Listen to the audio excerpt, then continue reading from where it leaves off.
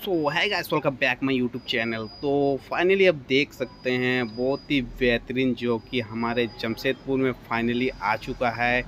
Swift का new model and new edition आप देख सकते हैं। बहुत ही बेहतरीन लग रहा है देखने में। कलर का कम्बिनेशन की जहाँ तक बात करें तो काफ़ी बेस्ट कलर इस सेगमेंट में इस बार उतारा है जो कि बहुत ही बेहतरीन लग रहा है।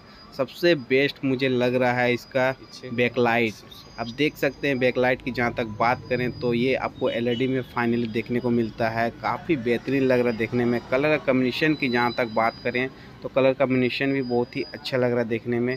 इसका जो साइज़ है, वो जो स्विफ्ट आता था, उससे कुछ अलग आपको साइज़ देखने को मिलता है। कुछ कंफर्टेबल बनाया गया है आपको सीट क्योंकि अंदर का फील जो होने वाला है, आपको बहुत ही कंफर्टेबल सीट लगने वाला है। साइड से लुक देख सकते हैं, आगे का हेडलाइट देख सकते हैं डीआरएल में देखने को मिलता है, काफ़ी बेहतरीन लग रहा है। कुछ स्पॉटी लुक में आपको फाइनली कार जो देखने को मिल रहा है, और इसका एलोई की जहाँ तक बात करें, ये आप देख सकते हैं, इसका अंदर का कुछ प्रोसेस आप देख सकते हैं। बहुत ही बेहतरीन लग रहा है। आगे का डिस्प्ले मतलब काफ़ी बेहतरीन लग रहा है, लग रहा है देखने में, और सीट कैपेसिटी भी काफ़ी बेहतरीन बैठने में बहुत ही कंफर्टेबल महसूस होगा आपको।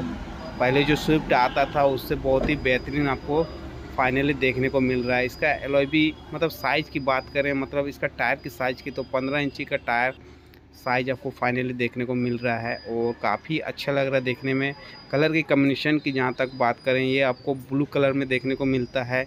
आपको रेड भी मिल जाएगा, बाकी और भी कलर आपको फाइनली शोरूम में मिल जाएगा और आप देख सकते हैं साइड से कुछ लुक ये आपको जो बीच वाला मॉडल मिलता है देखने को जहाँ तक इसकी प्राइस की बात करें तो सबसे पहले प्राइस का ही बात आता है।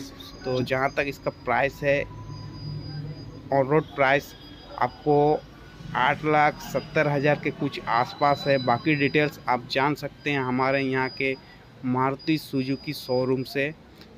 तो आप देख सकते हैं इसका लुक कुछ इस तरह से आपको फाइनली देखने को मिलता है। काफ़ी बेहतरीन लग रहा है, काफ़ी बेहतरीन इस बार इस सेगमेंट में स्विफ्ट ने उतारा है 2024 मॉडल में, बहुत ही अच्छा लुक में और काफ़ी बेहतरीन लग रहा देखने में।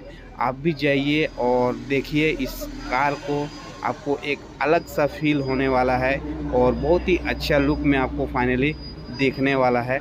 और ये आप देख सकते हैं, इसका जो सबसे अच्छा मेरे को इंटीरियर लगता है अंदर का। काफ़ी अच्छा लगता है स्मूथ लगता है सीट भी काफ़ी कंफर्टेबल लगता है बैठने में इस बार। आप बैठेंगे तो आपको महसूस होगा कि कुछ अलग सा फील आपको देखने को मिल रहा है। तो गाय से ही छोटा सा वीडियो है। वीडियो अच्छा लगा तो लाइक कमेंट एंड सब्सक्राइब करके बेल आइकन को प्रेस कर देना, क्योंकि यार लेटेस्ट वीडियो में हमें सब